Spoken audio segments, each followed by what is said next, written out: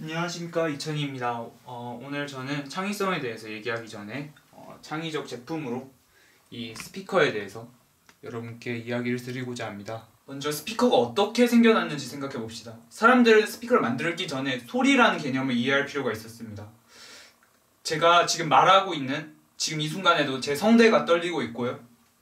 그 다음에 이 판을 이 매트를 두드리게 되면은 여기서도 소리가 나오게 됩니다.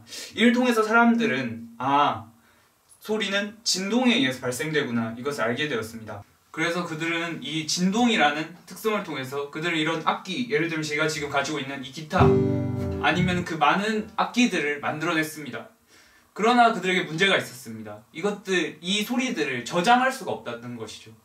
반복적으로 무한 재생할 수 없이 그냥 할 수 없이 라이브로서 실시간으로만 그들은 이 소리를 다른 사람에게 들려줘야 했을 겁니다.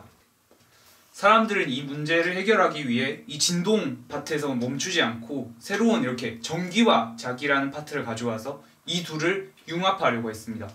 그래서 사람들은 이 스피커라는 것을 만들게 되었고 여러분께서 지금 들으실 수 있는 것처럼 이 문제를 해결할 수 있게 되었습니다. 이를 통해 우리는 창의성이 어떤 문제를 해결할 때 한 분야에서만 그것을 해결하려고 하는 것이 아니라 또 다른 분야와 융합하여 그것을 통해 시너지 효과가 일어나는 것을 창의성이라고 정의 내릴 수 있습니다.